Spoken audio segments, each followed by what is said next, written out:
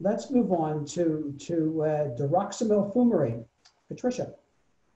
Well, uh, this is uh, basically contains, it's a prodrug that has monomethyl fumarate, which is the active agent of dimethyl fumarate. It's packaged differently.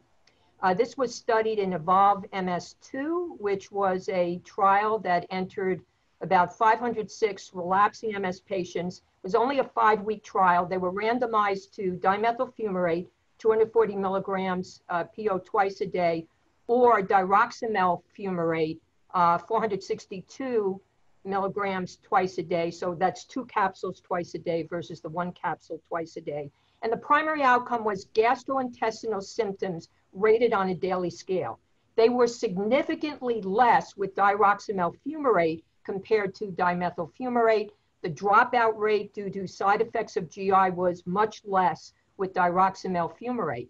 So in other words, this is a different packaged DMF that decreases significantly the GI side effects of DMF. And you don't need to take it with food. You don't need to take it with uh, food.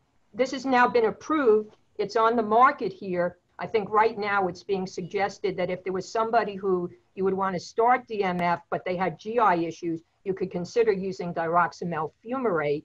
Uh, or if somebody starts DMF and they have GI issues, you could switch them. It's interesting. Is it available in Europe?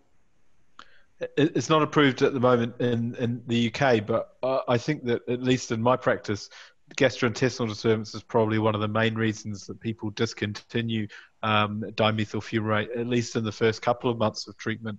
And uh, I do see this as being uh, potentially an attractive treatment option in patients who, um, Patricia says, don't tolerate dimethyl fumarate, or, or those who have uh, irritable bowel syndrome or other gastrointestinal comorbidity. You may want to start this um, in, in, preference to dimethyl fumarate.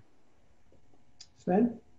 We also have not an approval yet, but um, I think it's a very valuable option. I also don't understand why we continue then with Tecfidera if we can have it without the side effects. So this is a bit exactly. hard to understand. But um, I, I, have to say, uh, patients starting on Tecfidera without side effects are very happy with this drug.